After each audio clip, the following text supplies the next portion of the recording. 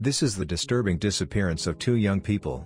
On July 7, 2013, 17-year-old Molly Miller and 21-year-old Colt Haynes got involved in a reckless chase with Oklahoma police in a car driven by James Con Nip before eventually fleeing. Later that night, both Molly and Colt called their family seeking help, but nobody could find them. Nip was found two weeks later in his wrecked car and claimed Molly and Colt went their separate ways. He remained a possible suspect. Even AWP's search for them went fruitless leaving the case unsolved. Check out our channel for the full story.